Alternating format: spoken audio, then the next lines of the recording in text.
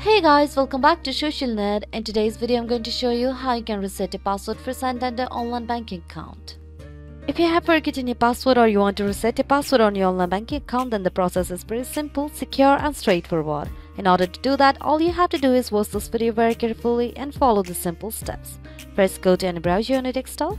Now the search bar search for santander.co.uk. And once you land onto an interface like this, just go and tap onto the login option here. By doing this, you will land onto the login page for Santander online banking account.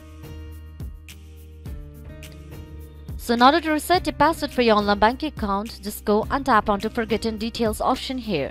By doing this, you'll be taken to another page. Now you'll have to enter your personal ID in the text field here, then enter your mobile number in the text field here. Once you are done entering your details, just go and tap onto the continue option. Now follow the on-screen prompts and you'll have successfully reset your password for your online banking account on Santander Bank.